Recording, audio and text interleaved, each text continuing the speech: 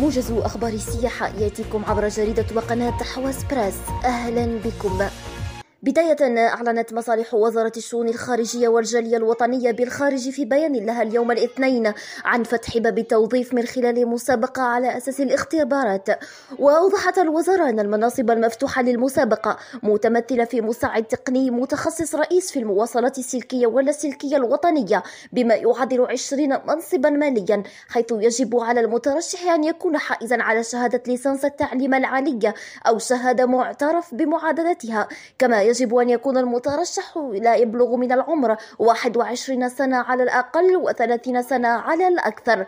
وفيما يخص التخصصات المطلوبة فيها فهي التكنولوجيا الاتصالات السلكية واللاسلكية الإلكترونيك الإلكتروتقنية والإعلام الآلية. هذا وأعلنت المؤسسة الوطنية للنقل البحري للمسافرين في بيان لها اليوم الاثنين عن إجراء تعديل على برنامج رحلتها. وجاء في ذات البيان أن رحلة الجزائر أليكانتي المبرمجة بتاريخ 3 أوت تم تقديمها للفاتح من شهر أوت على الساعة الثامنة مساء على متن باجي مختار ثلاثة. وهو نفس الأمر بالنسبة لرحلة أليكانتي الجزائر المبرمجة بتاريخ الرابع أوت التي تم تأجيلها إلى يوم السادس أوت على الساعة السابعة مساء على متن طارق ابن زياد.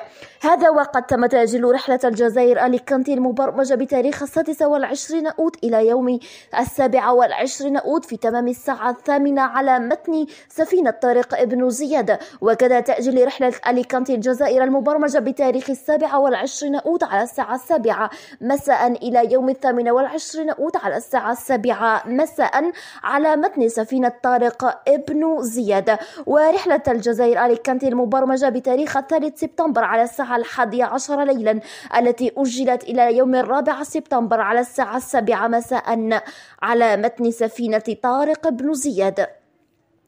إلى خبر آخر أين أعلنت الغرفة الوطنية للصناعة التقليدية والحرف اليوم الاثنين عن تنظيم معرض للصناعة التقليدية وذلك من السادس عشر إلى الثلاثين من شهر أوت بمركز المعالجة بمياه البحر تالاسوتيرابي في مكان الاستقبال. كما دعت الغرفة الوطنية الحرفيين والحرفيات الراغبين في المشاركة الاتصال على الأرقام التي وضعتها الغرفة حيز الخدمة.